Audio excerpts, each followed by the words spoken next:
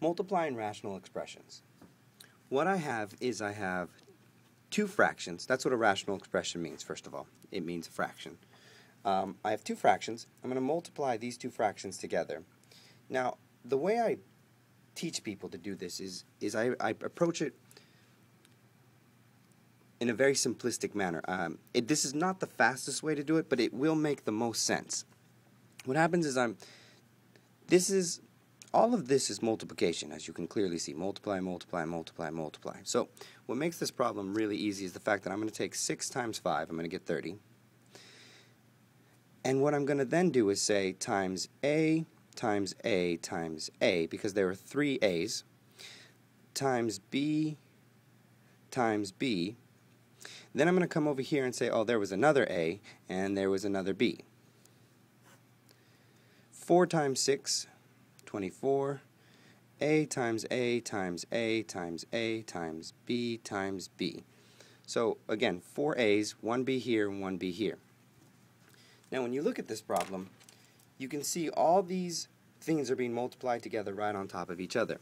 This makes it very convenient because what you'll say is, okay, an A for an A, an A for an A, an A for an A, and an A for an A.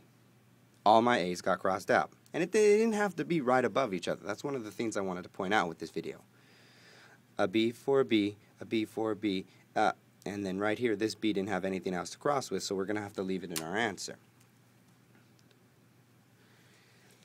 Now, the, the 30 over the 24, that's a regular fraction. You would just reduce that like normal. You divide both of those by 6. You would get 5 over 4 with this 1b left on top. And there's your answer.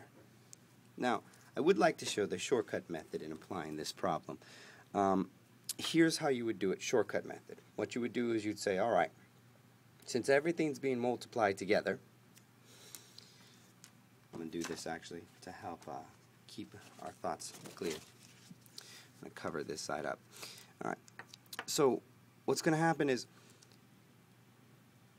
you see everything's being multiplied together.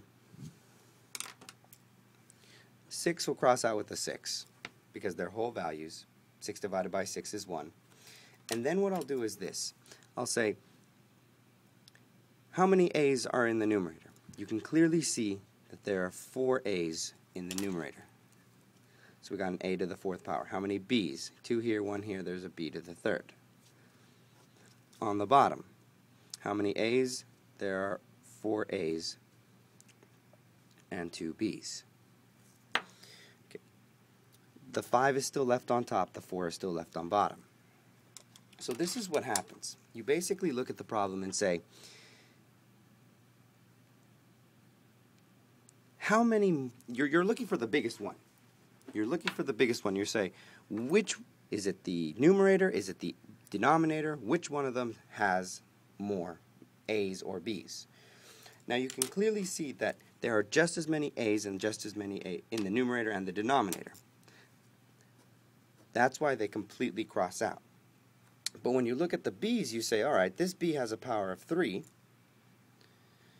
and this b has a power of 2. There's clearly one more b on top, and that's how we can do very quick arithmetic to say, well, this is only going to have one more b on top.